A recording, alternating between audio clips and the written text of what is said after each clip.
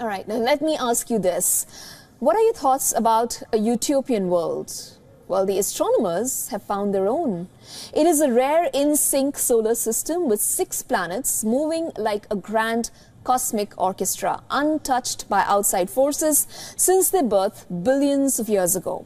Watch this report to know more about this new world and where it is located. It is located at a distance of 100 light years in our Milky Way galaxy.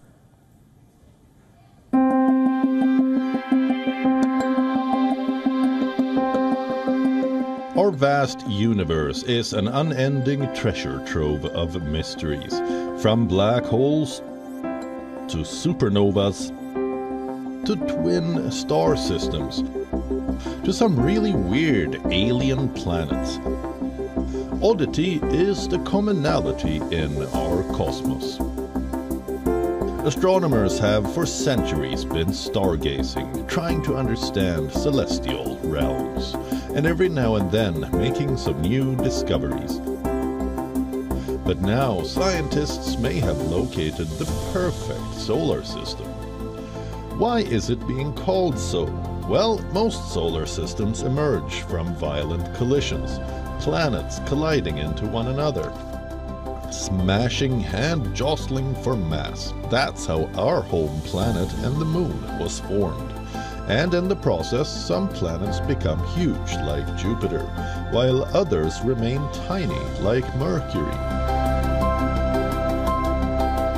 But look at this celestial symphony. Researchers have found six planets, all about the same size, revolving around their sun.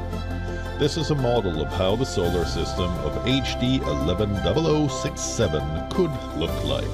This star may have even more planets. The X planet system appears to be about 100 light years away. That's uh, about 25 times further than the closest star system to us. If we wanted to travel to the closest star system using current technology, it would take about 70,000 years. So we're looking 25 times further away than that. A pair of planet hunting satellites, NASA's TESS and the European Space Agency's CHEOPS, teamed up for the observations.